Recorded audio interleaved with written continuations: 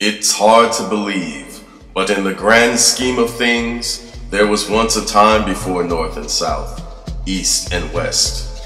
It was our ancestors who gave definition to the world around them, and their efforts gave birth to science and technology. The very processes of marshaling the data from their senses to conjure and shape reality.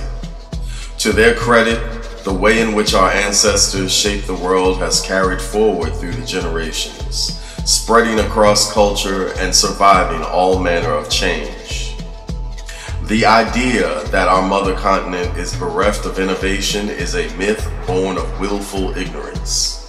For on the walls of Kemet and the scrolls of Timbuktu, we see the fruit of the collective imagination that discern patterns of life through the meticulous study of the cosmos. The shiny contraptions of this moment stand on solid black shoulders from time immemorial.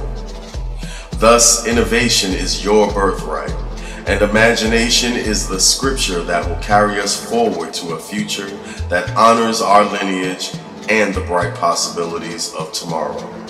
Claim this reality today.